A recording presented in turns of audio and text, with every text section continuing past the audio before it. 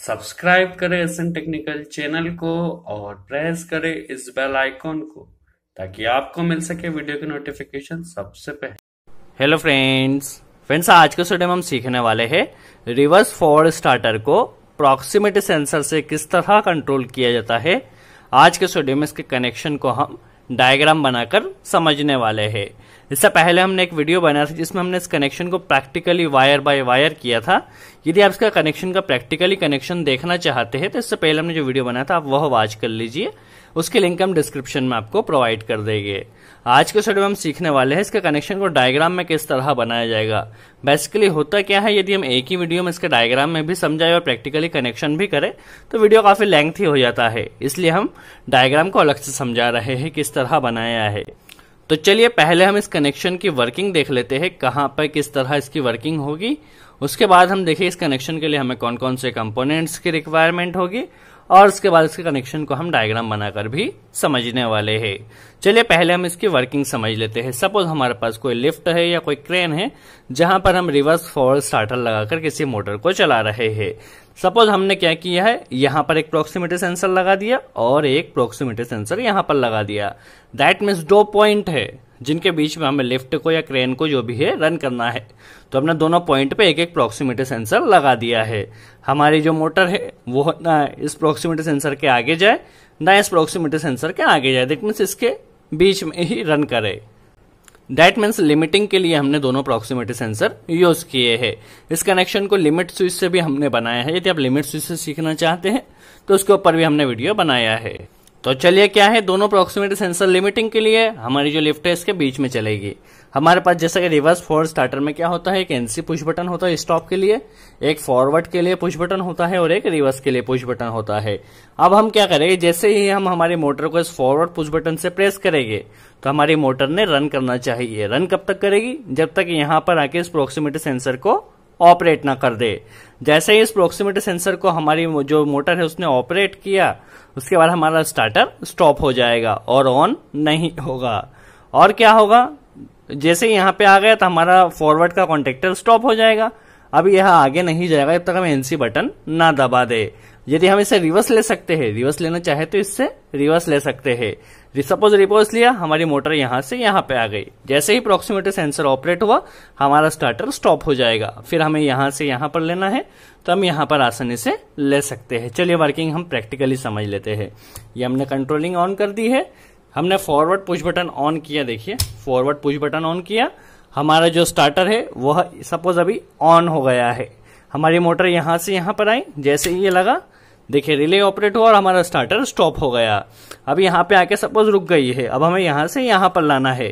तो हम क्या करेंगे? रिवर्स वाला कॉन्टेक्टर ऑपरेट करेगा तो हमारा मोटर यहाँ से यहाँ पर आ जाएगी। यहाँ पर आ गई, जैसे ही प्रोक्सीमिटी सेंसर ऑपरेट होगा, हमारा स्टार्टर स्टॉप हो जाएगा, इसके आगे नहीं जाएगा। अब हम क्या करेंगे? यहाँ से यहाँ वापस लाना है तो उसके लिए फॉरवर्ड बटन दबाएँगे हमारा स्टार्टर यहाँ पर आ जाएगा। जैसे ये लगेगा स्टॉप हो जाएगा। यहाँ से यहाँ लाने के लिए रिवर्स दबाना होगा। जैसे अप्रोक्सीमेटर सेंसर लगेगा स्टॉप हो जाएगा और उससे आगे नहीं जाएगा। तो ये तो सिंपली सी वायरिंग थी। वायरिंग किस तरह की जाती है, हमने ये समझा। इसके बाद हम समझेंगे इसके लिए कौन कौन से कंपोनेंट्स के रिक्वायरमेंट है। वैसे ये कनेक्शन थोड़ा लंबा हो जाएगा तो वीडियो को लास्ट तक ज़रूर वॉच कीजिए, क्योंकि इससे रिलेटेड आपके जो भी डाउट्स है, आज के वीडियो में क्लियर हो जाएँगे। तो चलिए कनेक्शन को स्टार्ट करने से पहले हम इसके कंपोनेंट समझ लेते हैं कौन कौन से कंपोनेंट्स की रिक्वायरमेंट होने वाली है। और फ्रेंड्स इससे रिलेटेड आपके जो भी डाउट्स उसे कमेंट्स बॉक्स में ज़रूर पूछे। हम पूरी कोशिश करेंगे उसका जवाब दे सके। चलिए बेसिकली हमें लिमिटिंग के लिए दो प्रोक्सीमेटी सेंसर की ज़रूरत होगी, जो कि हमने यूज़ किए हैं पी एन पी टाइप के दो प्रोक्सीमेटी सेंसर यूज़ किए हैं, जो कि 10 टू 30 वोल्ट डीसी पर ऑपरेट होते हैं। चलिए, दो प्रोक्सीमिटी सेंसर इसके अलावा प्रोक्सीमेटी सेंसर हमारा 24 वोल्ट डीसी पर वर्क करता है। तो इसके लिए हमें एसएमपीएस की रिक्वायरमेंट होगी। एसएमपीएस में क्या होगा? हम 220 सप्लाई देंगे तो एसएमपीएस हमें 24 वोल्ट डीसी बना कर देगा। तो एक एसएमपीएस दो प्रोक्सीमेटी सेंसर अब प्रोक्सीमिटी सेंसर ऑपरेट उसके लिए हमें चौबीस वोल्ट डीसी के ग्लास रिले की यूज़ होगा। इसके लिए हमने एट पिन का 24 वोल्ट डीसी के दो रिले यूज़ किए हैं। एक इस सेंसर के लिए और एक इस सेंसर के लिए। इसके अलावा एक स्टॉप पुश बटन, एक फॉरवर्ड के लिए एनो पुश बटन, एक रिवर्स के लिए एनो पुश बटन। और फॉरवर्ड और रिवर्स के लिए एक एक कॉन्टेक्टर, एक ओवरलोड रिले, एम दो एड ऑन ब्लॉक या ऑक्सिलरी ब्लॉक चलिए, ये तो कंपोनेंट्स हुए। चलिए, अब हम कनेक्शन ड्राइंग में समझ लेते हैं। ड्राइंग में आपको यहाँ कनेक्शन काफ़ी कॉम्प्लिकेटेड नज़र आ रहा है। बट इतना कॉम्प्लिकेटेड है नहीं जस्ट सिंपल यदि आपने इसे अच्छे से समझ लिया तो आप आसानी से कर सकते हैं। चलिए, इस कनेक्शन को हम ड्राइंग में समझ लेते हैं। चलिए ड्राइंग में देखा जाए तो ये कंट्रोल एमसीबी है। फॉरवर्ड के लिए कॉन्टेक्टर रिवर्स के लिए कॉन्टेक्टर ओवरलोड रिले के लिए NC point S M P S S M P S में लाइन न्यूट्रल हमें देना होगा प्लस माइनस हमें मिलेगा। इसके अलावा एट पिन ग्लास रिले ये दो eight pin glass relay use किए हैं। इस ग्लास रिले में क्या है? सेवन और टू कॉइल है इसकी। जैसे टू और सेवन में सप्लाई जाएगी, हमारा रिले ऑपरेट हो जाएगा। वन कॉमन है वन के साथ फोर एनसी है, और वन के साथ थ्री एनओ है। इसके अलावा एट भी कॉमन है। एट के साथ फाइव एनसी है, और एट के साथ सिक्स एनओ है। ये एट पिन ग्लास रिले के टर्मिनल से है। इसके अलावा देखा जाए तो ये पी एन पी टाइप के दो सेंसर है। हमने दो सेंसर यूज़ किए हैं। पी एन पी टाइप में क्या होता है? ब्राउन वाला वायर जो कि पॉजिटिव है। और ब्लू वाला वायर नेगेटिव है। हर सेंसर में यही होता है। और ब्लैक वाला वायर देखा जाए तो ब्लैक वाले सेंसर जो है, इसका आउटपुट का वायर है, जो कि रेफरेंस का है।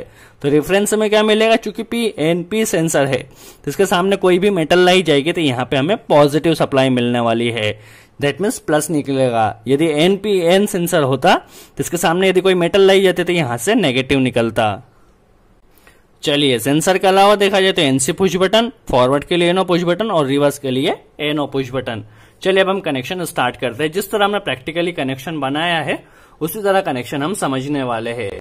चलिए कनेक्शन हम स्टार्ट करते हैं। ये कंट्रोल एमसीबी भी ये है और ये एमसीबी है एसएमपीएस है सबसे पहले हम 24 वोल्ट डीसी की वायरिंग समझते हैं, उसके बाद 220 के लिए वायरिंग किस तरह होगी स्टार्टर के लिए समझेंगे।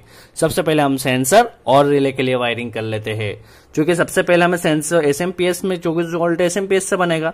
सबसे पहले हमें यहाँ पर एसएमपीएस में प्लस हमने फेस दिया और न्यूट्रल कनेक्ट कर ले। तो फेस के बाद हम इस एसएमपीएस में अभी न्यूट्रल कनेक्ट कर लेते हैं। तो हमारे एसएमपीएस में 220 वोल्ट आ चुका है।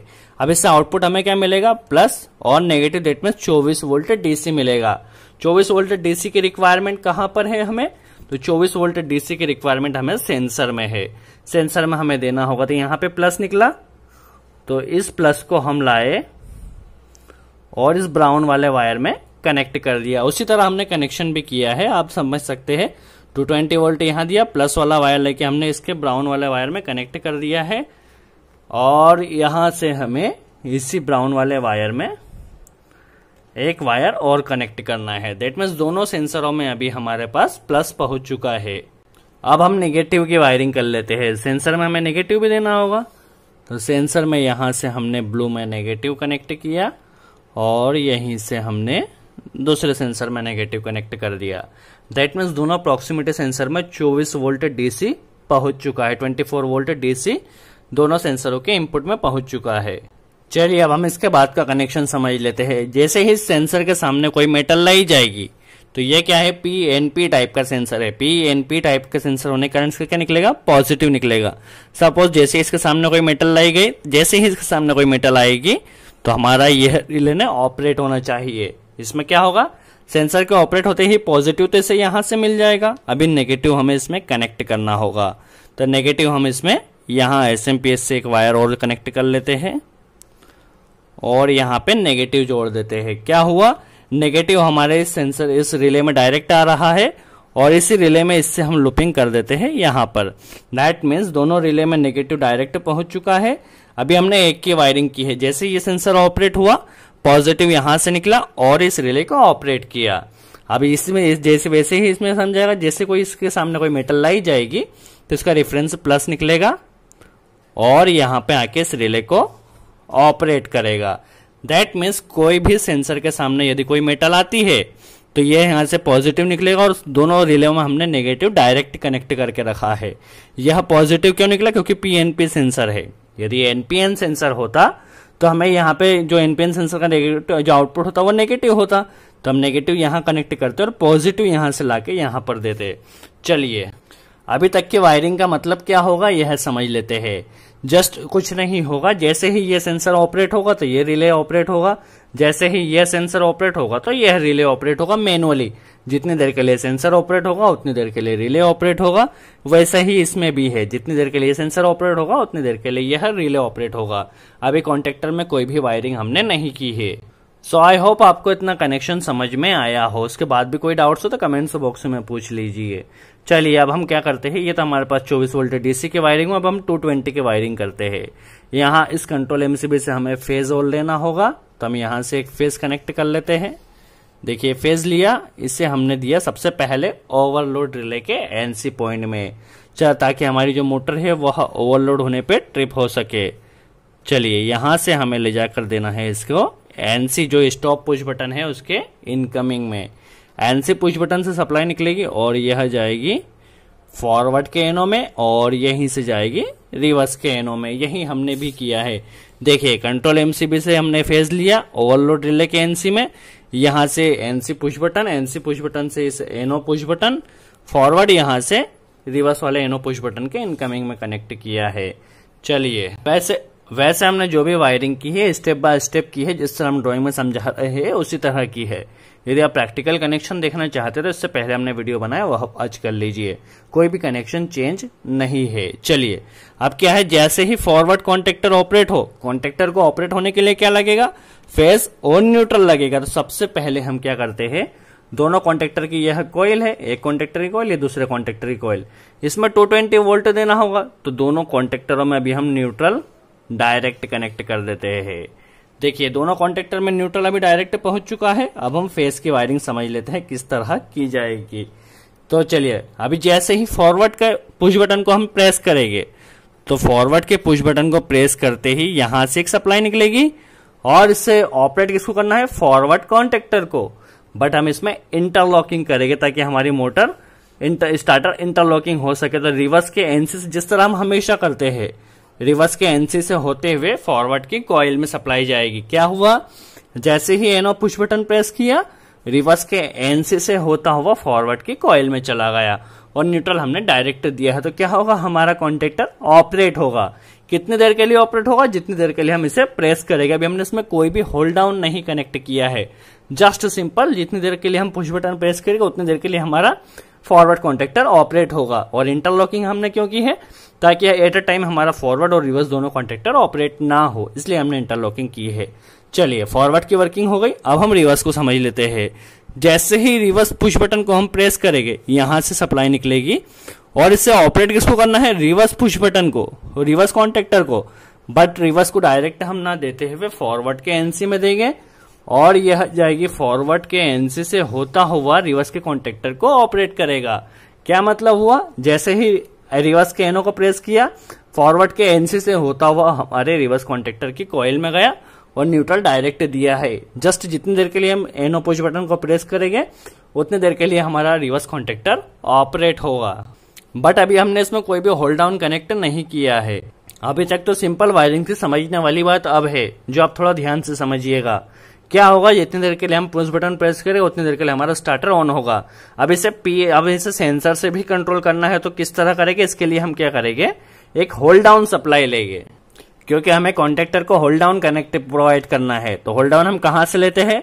ये तो एनसी के आउटपुट से या एनओ के इनपुट से तो हम यहाँ से एक होल्ड डाउन सप्लाई ले रहे हैं। जिसे हमें क्या करना है? इससे भी प्रोवाइड करना है और इससे भी प्रोवाइड करना है। तो फॉरवर्ड कॉन्टेक्टर को हम इसके थ्रू प्रोवाइड करेंगे और रिवर्स कॉन्टेक्टर को इसके थ्रू प्रोवाइड करेंगे। तो क्या करेंगे हम? एट और वन इसका कॉमन पॉइंट है। तो यहाँ से हमारी जो होल्ड डाउन की जो सप्लाई आ रही है, उसे यहाँ पर एट नंबर में कनेक्ट कर देंगे।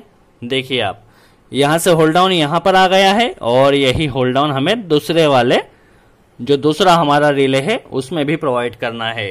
दैट मीन्स दोनों रिले के कॉमन पॉइंट में होल्ड डाउन सप्लाई अभी आ चुकी है।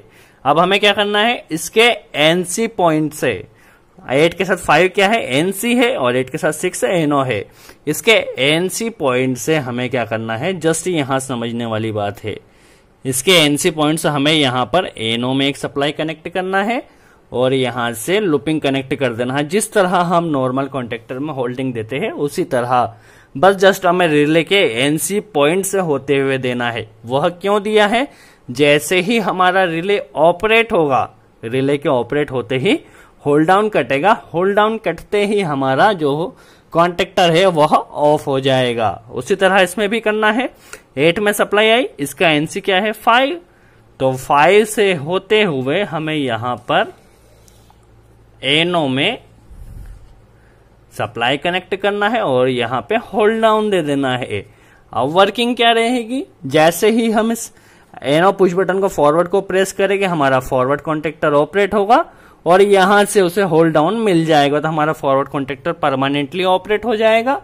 अब क्या होगा? जैसे ही ये वाला प्रोक्सीमिटी सेंसर लगा, ये प्रोक्सीमिटी सेंसर लगते ही यह रिले ऑपरेट हुआ। यह रिले ऑपरेट होते ही इसका जो एनसी है, वह एनो बन जाएगा। और एनो बनते ही यह कनेक्शन टूट जाएगा और हमारा स्टार्टर स्टॉप हो जाएगा। वही इसी तरह रहेगा, जैसे रिवर्स को ऑपरेट किया हमने, हमारा मेन नॉर्मली जो रिवर्स कॉन्ट्रेक्टर ऑपरेट होगा, और उसे भी होल्ड डाउन यहाँ से मिल जाएगा और हमारा स्टार्टर परमानेंटली होल्ड हो जाएगा।